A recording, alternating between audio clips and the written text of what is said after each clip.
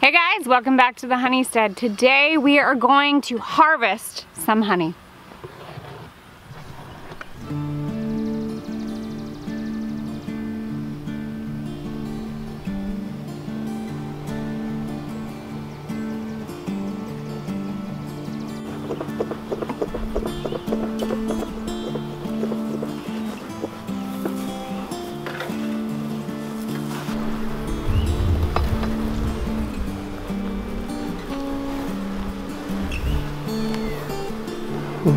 Nice.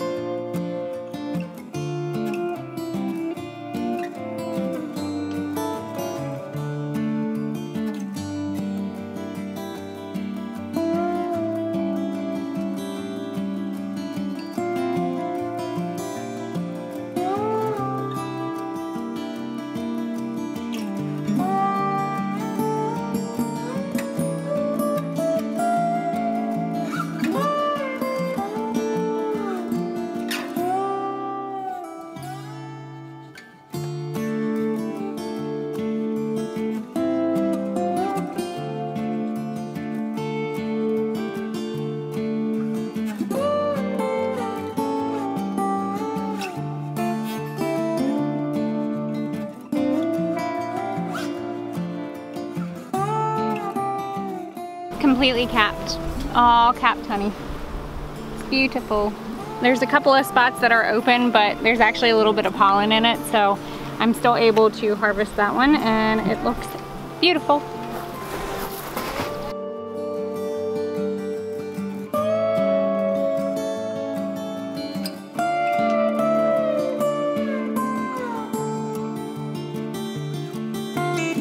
So a little beekeeping tip. These gloves are really awesome to use. And if you get stung in your hand, all you do is just smack it and then it pulls the stinger out right away. The moment that I pulled the stinger out, I went over and I took some of the honey and I rubbed it on it and the pain's already gone. I'm gonna go ahead and change my gloves just because the pheromones were already on those gloves. So by changing, I'm gonna start fresh and hopefully not get stung again.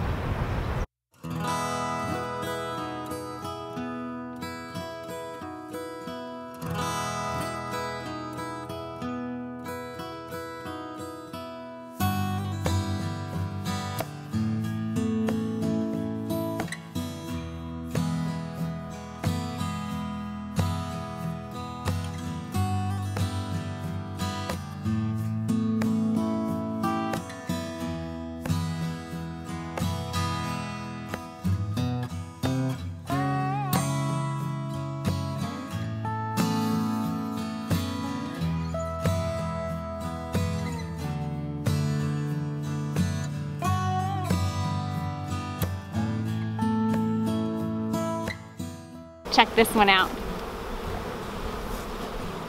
I accidentally tore off a little bit of the comb when I pulled it out, but oh my goodness.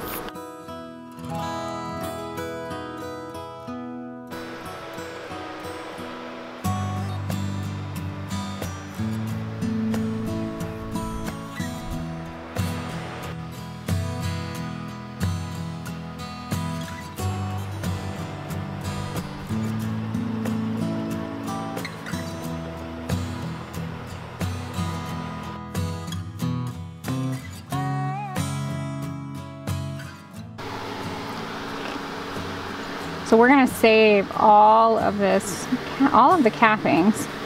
And this is what I use to make any type of beeswax material, lip balm or pretty much anything.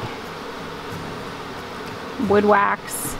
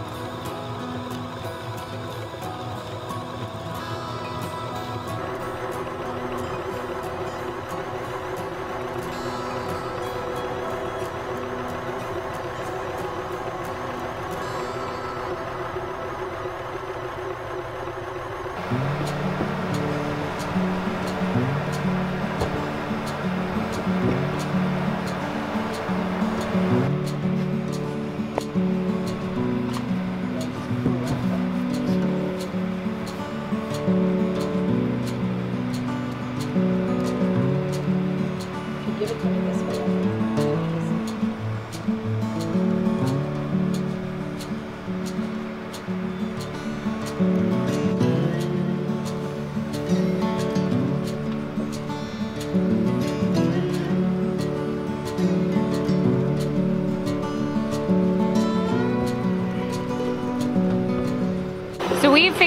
couple of techniques to actually do some extracting. And I want to stress to you guys the importance of actually having good, stable frames when you're doing an extractor, especially with an electric. I actually really want to keep as much comb as possible because I plan on giving it right back to the bees. They're gonna clean it up, fix what needs to be fixed, and go ahead and start filling again.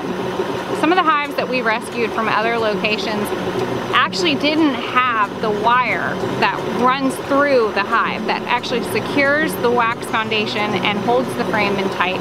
We found a couple of techniques that we actually used to actually save some of the hives, which we took rubber bands, we rubber band the frame together and it's in the extractor now. We did have a couple of blowouts, so we MacGyvered it and so far so good.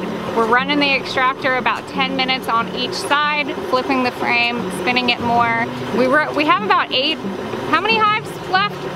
One, two, three, four, five, six, seven, eight.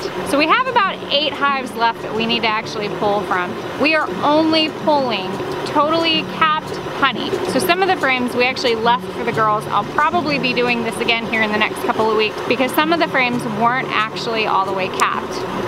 But so far so good.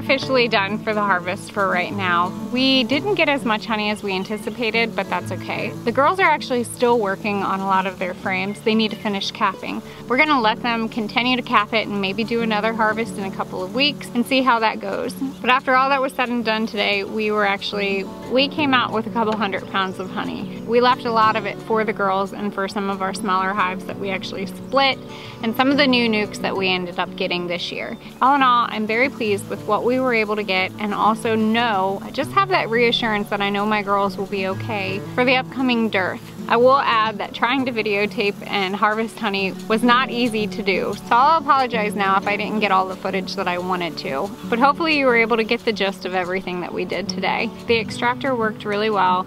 We did end up getting a couple of battle wounds in the long run. I got stung, my mom got stung like seven or eight times.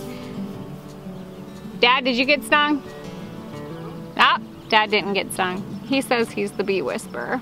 Thank you guys for watching and I hope that you stay tuned. I'll make sure to take you guys into a hive with me on my next inspection.